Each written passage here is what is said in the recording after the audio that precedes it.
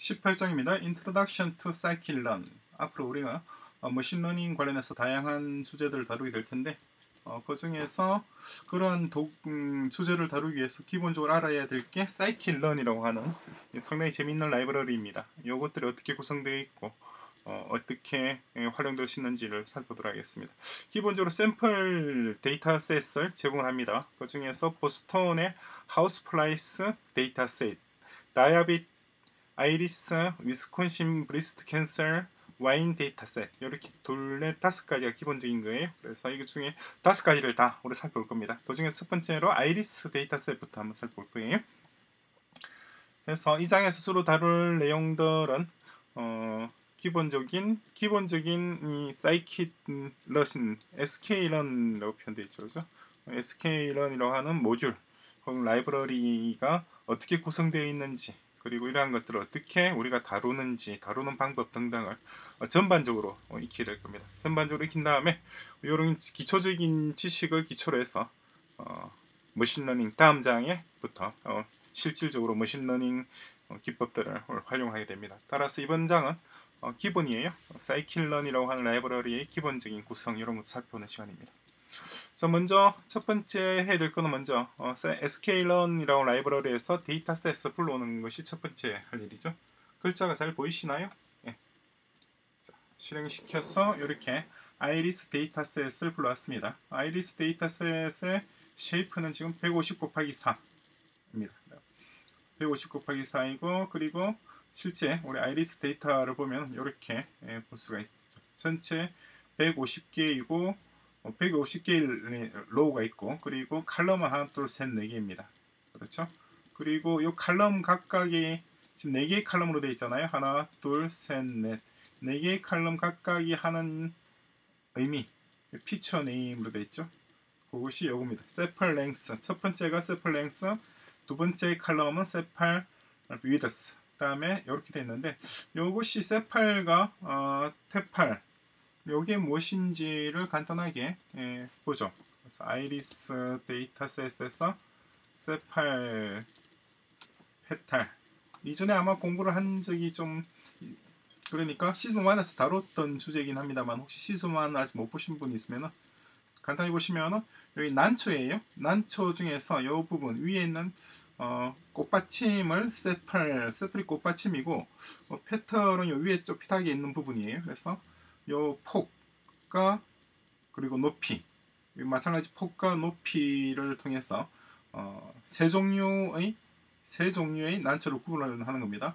첫 번째는 벨시칼라하고 두 번째는 세토사, 세 번째가 벌지니카. 이 세 종류의 난초가 기본적으로 조금 전에 봤던 요 petal과 어, sepal 데이터로서 구분을 할 수 있다라고 하는 겁니다. 그래서 어, 이런 데이터가 주어졌을 때 그 데이터를 통해서 어, 이것을 구분할 수 있는 알고리즘을 머신러닝 기법으로 통해서 우리가 도출하는 것이 실습 주제예요. 그래서 어, 일단 그런 실습을 바로 진행하기 전에 어, 이전에 먼저 scikit-learn과 관련되어 있는 몇 가지들 어, 개념들을 좀 잡아야 됩니다. 잡아야 되는데 첫 번째 먼저 어, scikit-learn model selection이라고 하는 모듈에서 train test split 불러왔습니다. 그래서 어, train test split에서 iris 데이터 조금 전에 가져왔던 데이터죠. 그리고 iris target. iris를 보시면은 아이리스 자체 지금 데이터만 불러봤었는데 아이리스 자체가 어떻게 됐는지를 보실까요? 한번. 아이리스 얘는 위로 올려놓는 게 낫겠군요. 한칸 올려서.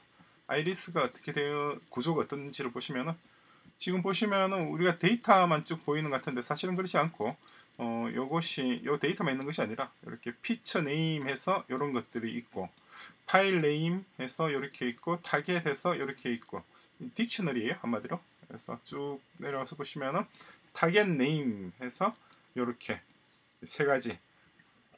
조금 전에 봤던 것처럼 setosa, versicolor, virginica 이 세 종류의 target name의 array 다 array가 value로 주어져 있죠. 그죠? 이렇게 있고. 자 그리고 위로 쭉 올라가시면은 얘, 얘 지금 이 글, 이게 좀 안 보이나요? 계속해서 올라가서 보겠습니다. 쭉 올라서 보면은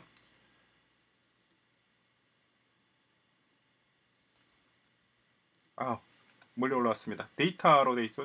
데이터 iris.data에 데이터에 들어 있는 것이 array입니다. 그죠? 어, 칼럼은 하나, 두 개, 세 개, 네 개 이렇게 돼 있어요.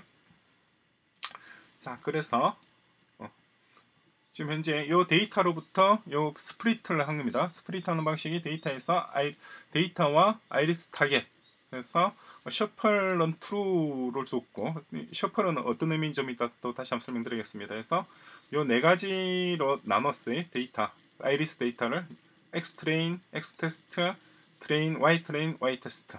y가 그러니까 어, 이 타겟이에요. 타겟이고 그리고 얘는 x는 데이터입니다. 그래서 x 데이터의 shape를 보시면은 120, 112 곱하기 4 이게 x train이고 x test는 어떻게 되나요? 테스트는 38 곱하기 4 그래서 전체 150개죠. 150개를 112개는 테스트에 넣고 38개는 아, 아니 112개는 트레인에 넣고 38개는 테스트에 넣습니다. 마찬가지로 Y 역시도 어, 112개고 지금 112개만 있는 벡터입니다. 그리고 테스트 마찬가지 얘는 칼럼이 없죠. 38 끝입니다. 왜냐니까 어, 타겟 Y 값 Y 값을 볼까요? Y 값이 어떻게 되어 있는지 그것에서 Y train 보시면은 숫자만 쭉 나열되어 있죠. 그래서 1, 0, 1, 2, 0, 1, 2, 3개의 숫자로 되어 있습니다. 0과 1과 2가 지금 세 종류의 아이리스 난초 한국말로 하면 난초죠. 난초입니다. 그죠? train. 그러니까 Y train과 어, X test가 서로 매칭이 됩니다. X test와 어, 아니죠. X 트레인과 트레인이 매칭이 되죠. 위에는 X train 어디 갔나요? 여기 있죠.